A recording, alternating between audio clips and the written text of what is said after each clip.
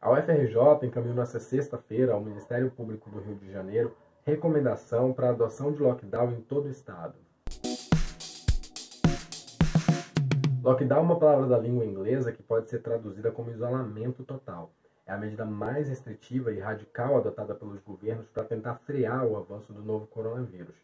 Ela prevê o bloqueio de estradas e a necessidade de autorização para a circulação nas ruas.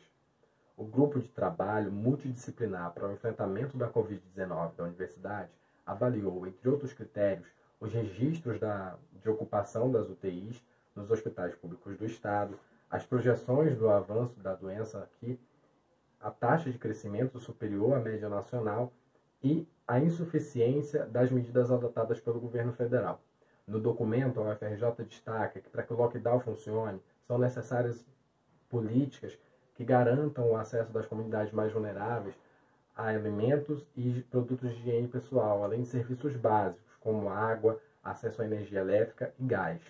Nas redes sociais, o governador Wilson Witzel declarou que desde o dia 13 de março o Estado vem tomando medidas de isolamento social e restrição da circulação, que, segundo ele, são muito parecidas com o conceito de lockdown, e que o momento, o cenário atual, demanda aumento da fiscalização. Arlen Melo, de casa, para o TJFRJ.